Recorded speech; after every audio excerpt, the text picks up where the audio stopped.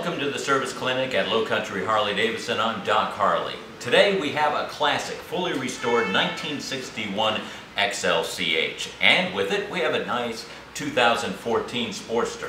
53 years, we've come a long way, especially in the rear brake system.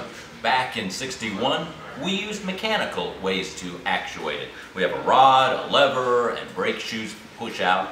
With a modern motorcycle, we use brake fluid. It gives us more power and more accuracy in applying the brakes. But just like in the movie, with more power comes more responsibility. You've got to service your brake system regularly. And here's why. There are three things that affect brake fluid. Air is one of them. As air gets in through the rubber seals, through some of the gaskets, even through the hoses, air starts filling where brake fluid should be. And when you've got more air than fluid, it's like pushing on a balloon. And that's not good. So if your brake pedal feels a little soft than it used to, you might have too much air in your system. All right, another thing that affects brake fluid is water. We live in the southeast. I mean, we've got a lot of humidity right next to the Atlantic. Water gets in just like air through the rubber seals in the master cylinder, through the seals at the brake caliper, through the gaskets, and sometimes through the hoses as they wear. Water gets into the brake fluid and they don't mix.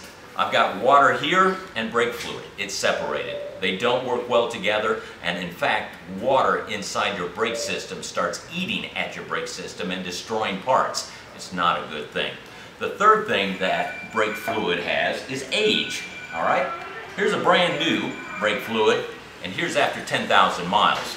It wears out. The factory actually says if you have a dot four system in your new Harley, every two years you should flush it and put brand new in. So if you own a 2013 or earlier motorcycle, when was the last time you replaced your brake fluid? If you need to have it checked, we've got the equipment to flush and put new brake fluid in your beautiful Harley Davidson. Just come on by the service clinic at Low Country Harley Davidson. I'm Doc Harley. I'll see you next week.